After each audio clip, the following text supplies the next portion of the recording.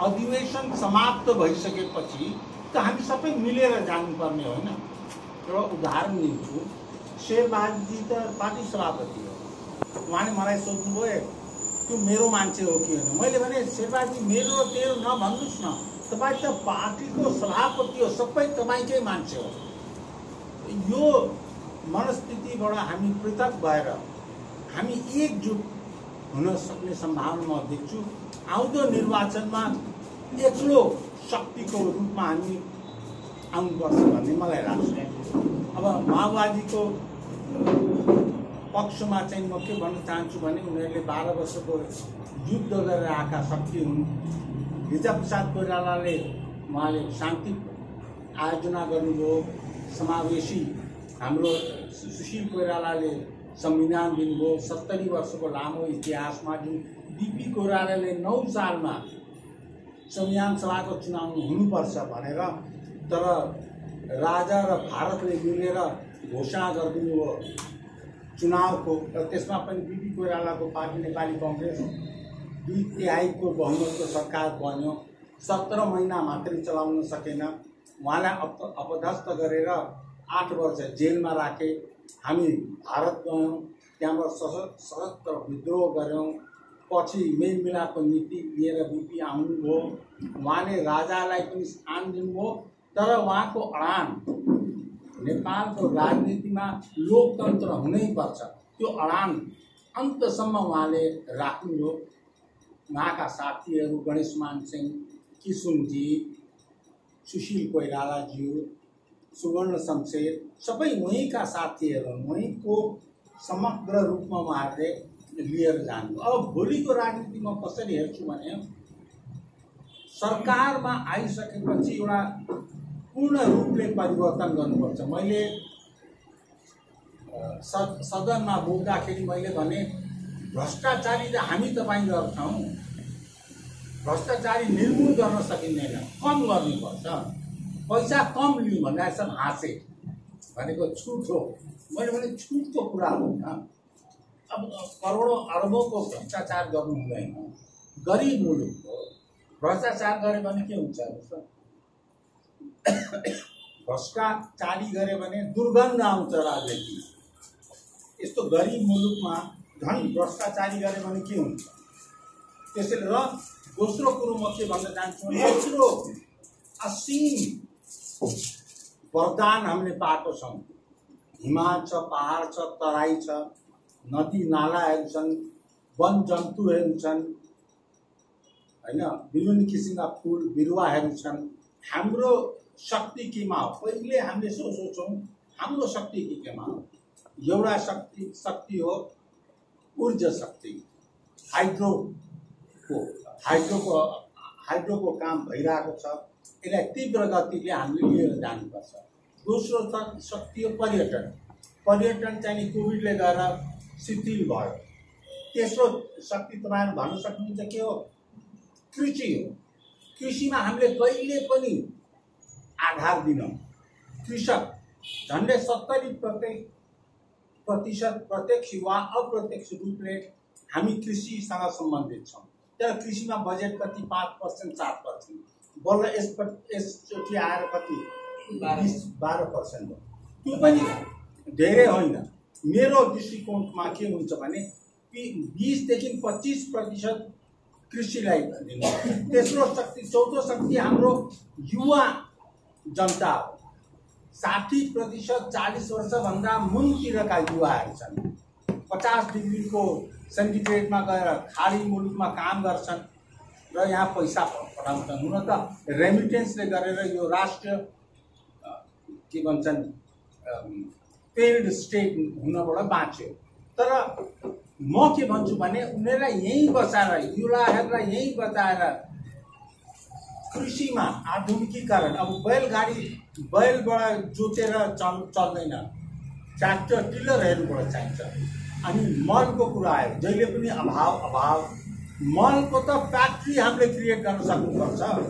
तपाईँलाई थाहा छ मल कहाँबाट आउँछ? मल आउँछ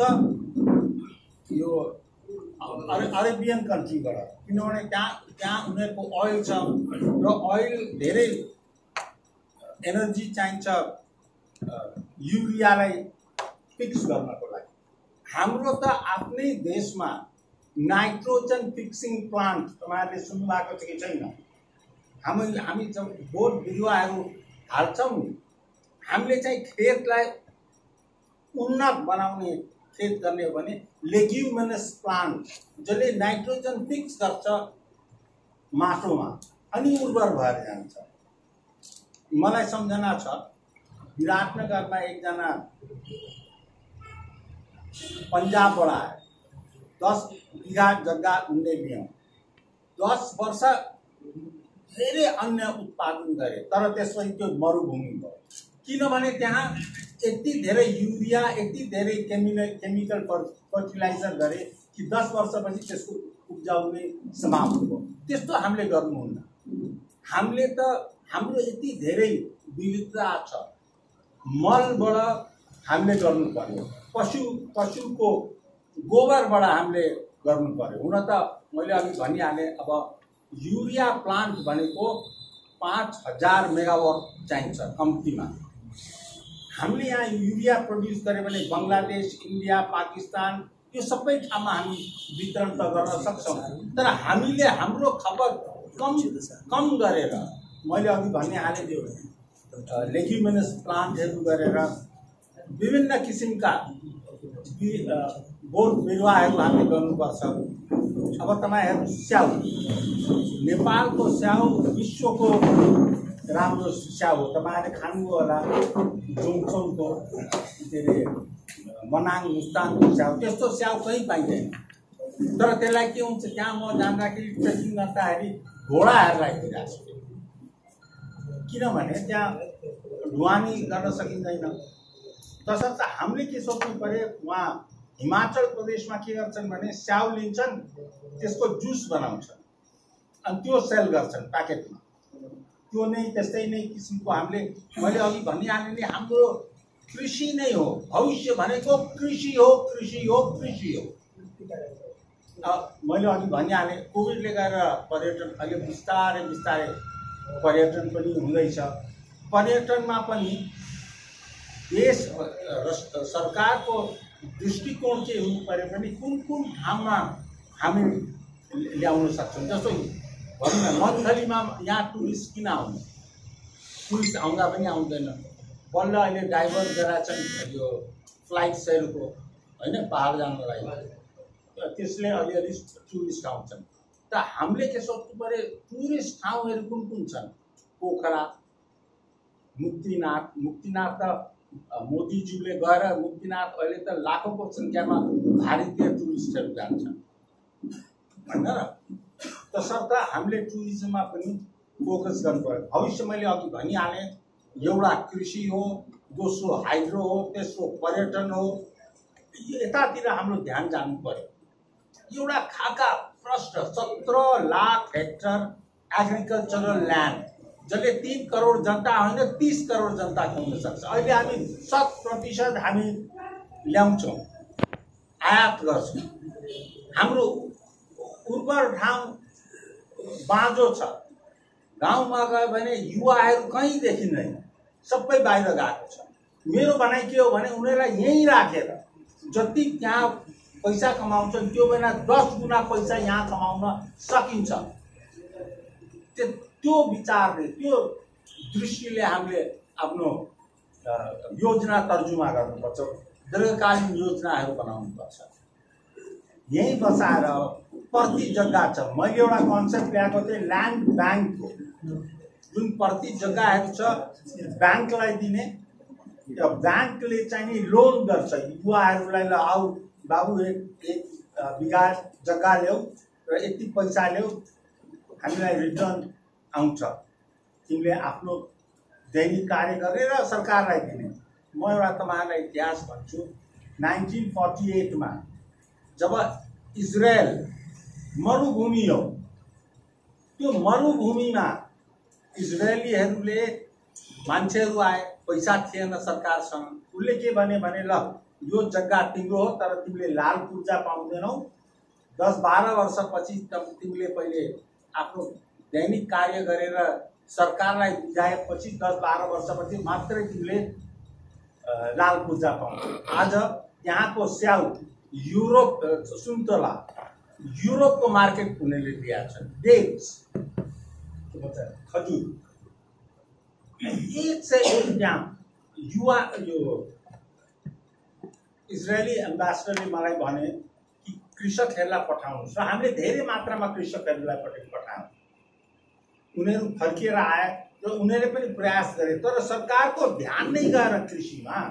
मैले अघि भनिहालेँ पाँच पर्सेन्ट बजेटले कहाँ पुऱ्याउँछ? पाँच पर्सेन्टले होइन। बिपी कोइरालाले आधुनिकीकरण गर्नुभयो। जस्तो जो उसको पोत भनेर। उहाँले त्यो एउटा के दृष्टि दिनु दिनुभयो भने आम व्यक्तिको लागि हरेकको घर जग्गा हुनुपर्छ। खेती गर्नलाई खेत हुनु पर्यो। त्यो त्यो दृष्टिकोणले गरेको। त अहिलेको आएर अहिले त हक हक- हकबन्दी छ। धेरै जग्गाहरू पनि पाउँदैन कति हो? दस बाह्र बिघा हो त्यहाँ। दस दस बाह्र रुपियाँ होइन अब बाह्र रुपियाँ बाह्र बिघा भनेको धेरै पो त हो. बाह्र बिघामा धेरै काम गर्नु सक्छ मैले भनिहालेँ मलिलो माटो छ तपाईँले राम्रो उन्नत किसिमको बिउ छर्यो भने त्यो आफै उम्रिन्छ। सिक्टा योजना मनी मरिन के अरे डाइभर्सन कोशी नदीको मा धेरै पानी नै पानी छ यत्रो उर्वर आउँछ। हाम्रो दृष्टिकोण कृषिमा जानु पर्यो युवाहरूलाई प्रयोग गर्नु पऱ्यो कृषिमा आऊ। तिमीहरूको भविष्य त्यसैमा उज्जवल हुन्छ। एउटा म उदाहरण पनि दिइहाल्छु। म सिनियर केम्ब्रिज क्लास इलेभेनमा। मैले धेरै पढेँ। राति राति सिरक मुनि बसेर टर्च बालेर पढेँ। एक सय चौवालिस पेजको म्यागबेथ भन्ने किताब आजसम्म मलाई कण्ठस्थ छ। तर मा मार्क्स आयो पचहत्तर प्रतिशत। अनि मैले गा बाबा हुनुहुन्थ्यो विराटनगरमा मैले भने मेरो दिमाग रहेन रहेछ। यत्रो प्रयास गर्दाखेरि पनि अनि अनि त्यो के गर्छस् भन्दाखेरि मैले भने म खेती गर्छु। अनि आमाले भने सुशीला सुन तेरो छोरो त अब कृषक हुने भयो। र राम्रो पक्ष देखाउनु भयो के भन्नुभयो भने तँ त ब्रेड अर्नर मैले त कहिले पैसा कमाइनँ। मेरो दाइ गएर लाखौँ कमाउनु भएको थियो पच्चिस बिघामा। पनि गएर लखपति हुन्छस् राम्रो हो। तर उहाँले एउटा दृष्टान्त दिनुभयो।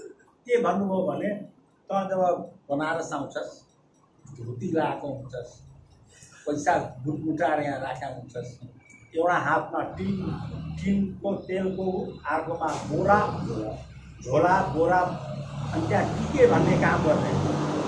अनि मलाई आलु तारेको एकदम मिठो लाग्ने। त्यो तिर्कामा बसेर भन्छस् र मलाई आलु खुवाउ।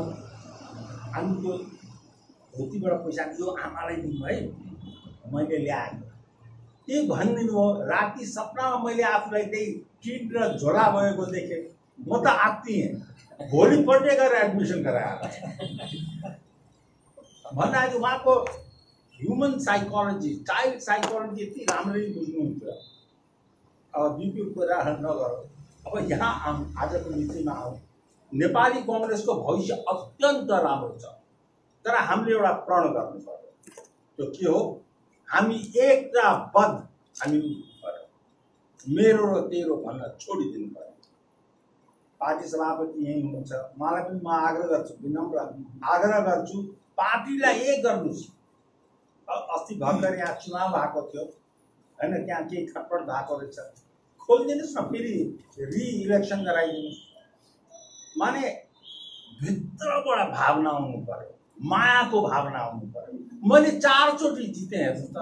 जुन ठाउँमा म कसैलाई चिन्दा पनि चिन्दिनँ गाउँको नाम मैले कण्ठस्थ गरेर जानु पर्यो। त्यहाँ चारचोटि जितेँ। कारण के छ भने हृदयबाट उनीहरूले मलाई माया गरे। मैले पनि त्यही हृदयबाट माया गराएको छु। त्यहाँ के विकास त भएको छैन। मलाई लाग्छ शेरबाजी र विजय गजदार भनेको दुई चारजना मात्रै छौँ। जसले चारचोटि लगातार बिना रोक जितेको त्यो के हो भने आदर हो सत्कार हो माया हो प्रेम हो। त्यो प्रेम उनीहरूले मलाई दिए र त्यही प्रेम मैले बाँडेँ। पाँचौँ लड्छु लड्दिनँ त्यो भविष्यको कुरा हो। तर मैले के भने भने आफ्नोपन मेरो यो मेरो हो। सबै मेरा मान्छे हुन्। हामी एक हौँ।